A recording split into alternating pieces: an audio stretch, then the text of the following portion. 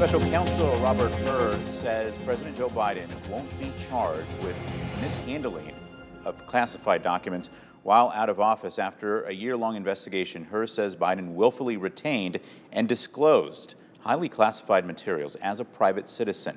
This includes information on military and foreign policy in Afghanistan and other sensitive national security matters.